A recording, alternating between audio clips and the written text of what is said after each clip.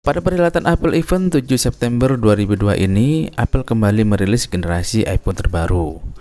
Untuk varian iPhone 14 tidak terlalu banyak perubahan ya guys, hanya penambahan satu core di bagian GPU-nya menjadi 5 core GPU.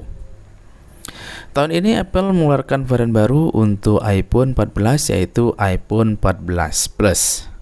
Untuk spesifikasinya mirip dengan iPhone 14 reguler, hanya beda di ukuran screen saja.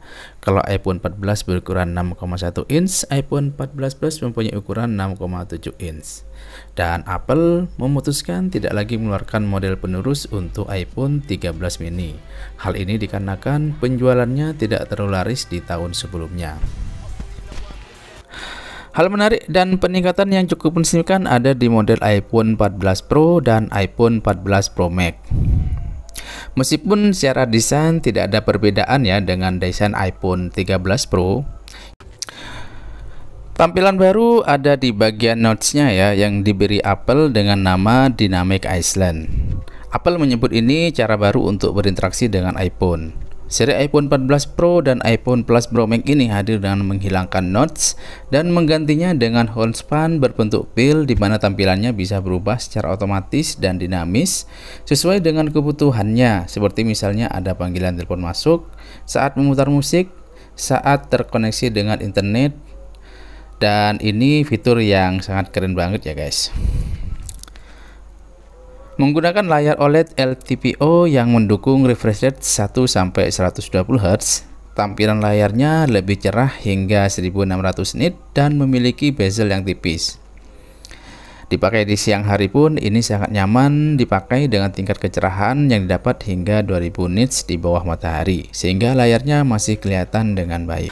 Peningkatan juga ada di bagian SoC-nya dipersertai dengan chipset terbaru yaitu chipset A16 Bionic menghadirkan performa luar biasa melebihi generasi chipset A15 serta penggunaan daya baterai yang lebih efisien. Peningkatan yang cukup signifikan juga ada di bagian kamera. iPhone 14 Pro kamera utamanya sekarang beresolusi 48 megapiksel.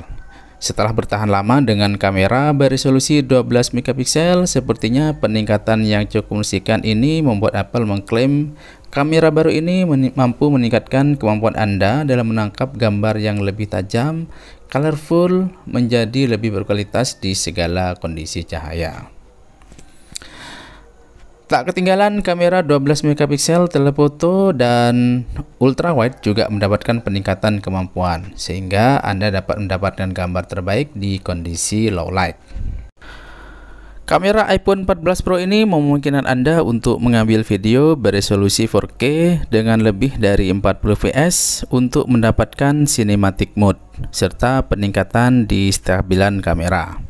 Adanya fitur layar always on yang menjadi teknologi baru untuk memungkinkan Anda mendapatkan kecepatan refresh rendah 1 Hz sehingga baterai lebih awet. Untuk urusan baterai, seri iPhone 14 Pro juga diklaim Apple mampu bertahan seharian.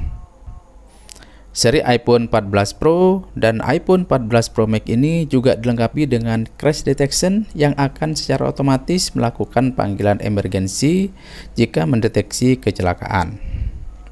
Di pasaran tersedia dalam empat varian warna, Space Black, Silver, Gold, dan Deep Purple.